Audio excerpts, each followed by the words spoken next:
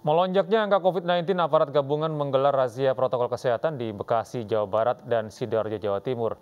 Selain razia masker, petugas juga memeriksa aplikasi Peduli Lindungi untuk mengetahui warga yang belum pernah divaksin. Sementara di Bengkulu, vaksinasi massal terus dikebut dengan target sasaran 5.000 dosis.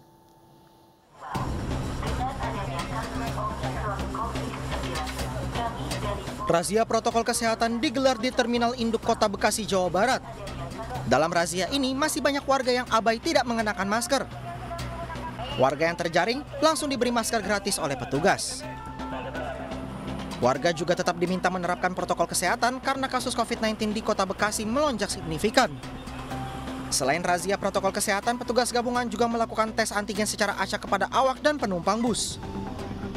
Hasilnya tidak ditemukan adanya awak dan penumpang bus yang reaktif. Razia protokol kesehatan juga berlangsung di kawasan Puri Surya Gedangan Sidoarjo, Jawa Timur. Selain merazia warga yang tidak memakai masker, puluhan aparat gabungan juga memeriksa aplikasi Peduli Lindungi untuk mengetahui apakah sudah divaksin atau belum. Jika belum, warga diminta untuk menjalani vaksinasi di gerai vaksin keliling yang telah disediakan. Dalam razia ini, 50 warga didapati belum pernah divaksin COVID-19. Pertama, Pak. Baru pertama, kok baru pertama Pak? Sudah tiga kali ini, Pak. Kena tensi darah tinggi dulu. Oh, darah tinggi. Ya, Belanda pernah, di Gedangan pernah. Tapi belum disuntik Pak ya? Belum sampai suntik. Baru kali ini. Iya. Harapannya apa nih Pak? Ya, biar sehat.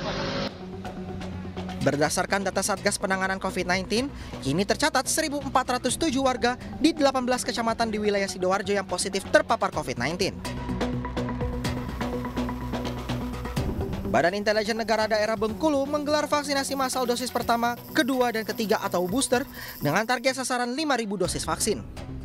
Korwil 3 Binda Bengkulu Kombes Pol Edi Bastari mengatakan vaksinasi digelar di masing-masing kantor desa Tebat Tenong dan desa Kampung Melayu, Kecamatan Bermani Ulu. Pihaknya juga melaksanakan vaksinasi door to door untuk menjangkau masyarakat khususnya para lansia yang kerap terkendala mendatangi vaskes terdekat. Binda Bengkulu juga membagikan paket sembako kepada penerima vaksin saat vaksinasi door to door. Tim Liputan iNews melaporkan.